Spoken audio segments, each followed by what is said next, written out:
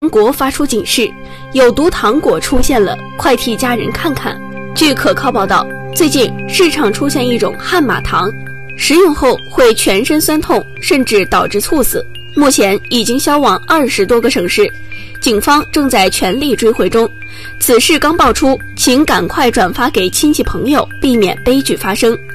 医生紧急提醒：这种汉马糖中含有他达拉非等西药成分，属于有毒有害食品。目前，浙江金华警方联合多地警力，一窝端了生产汉马糖的黑心厂商，抓捕涉案人员十人，扣留这种害人糖两吨多，涉案金额两千多万。可怕的是，这种害人糖已经通过渠道卖到二十多个省市，所以。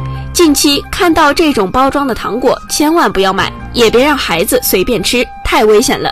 今天不论你有多忙，为了家人和朋友的健康和生命，请务必把这个视频转发到所有微信群，让亲人朋友远离危险。